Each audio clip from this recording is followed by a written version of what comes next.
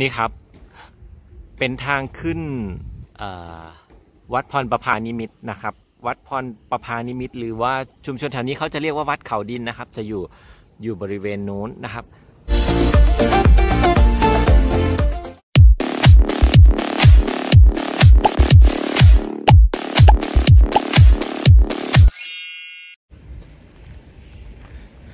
สวัสดีท่านผู้ชมชาวตามภาษาชาแนลครับ วันนี้ ผมพามาเที่ยววัดนะครับผมสถานที่แห่งหนึ่งชื่อวัดพรประพานิมิตนะครับ อยู่ พอดีว่าขับรถผ่านมานะครับ เห็นสะดุดตาเป็นวัดสีขาว เดี๋ยวผมจะพาเดินดูรอบๆนะครับ เป็นทางขึ้นวัดพรประพานิมิตนะครับ วัดพรประพานิมิต หรือว่าชุมชนแถวนี้เขาจะเรียกว่าวัดเขาดินนะครับ จะอยู่อยู่บริเวณนู้นนะครับ แต่ก่อนผมเคยเข้ามาครั้งหนึ่งแล้วครับ จากโบสถ์สีขาวนี้นะครับ สะดุดตาเวลาขับรถผ่าน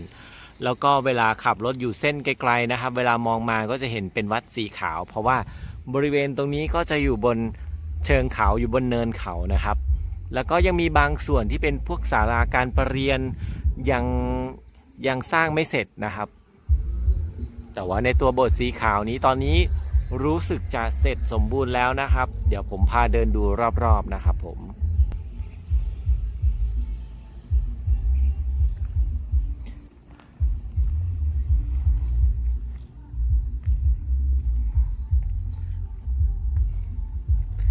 บรรยากาศ วันนี้บรรยากาศฝนเพิ่งหยุดตกไปนะครับ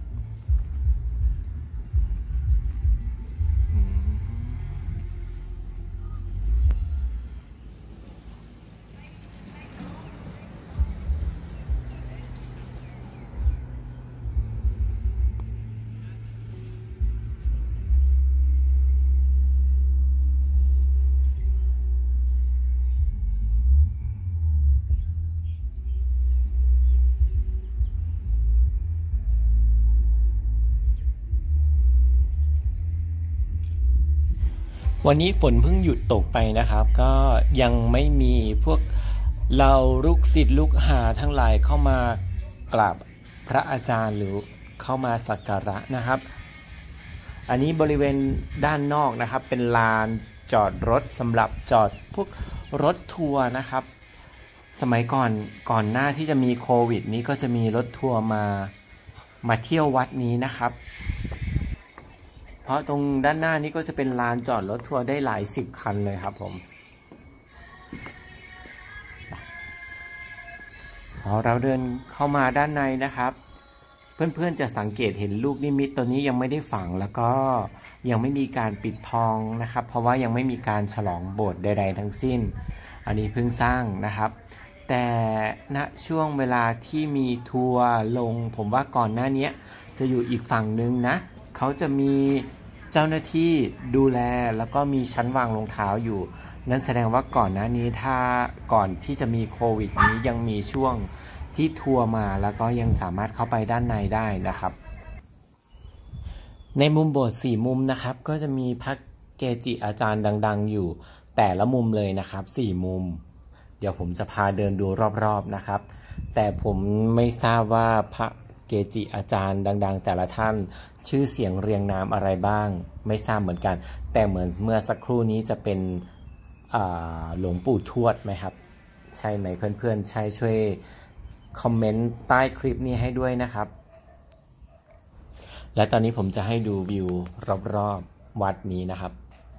วิวดีนะบรรยากาศดีด้านหน้าก็จะเป็นลานจอดรถทัวร์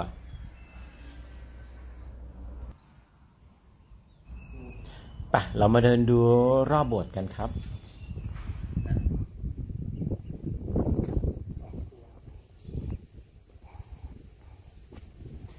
ในส่วนของฝั่งนี้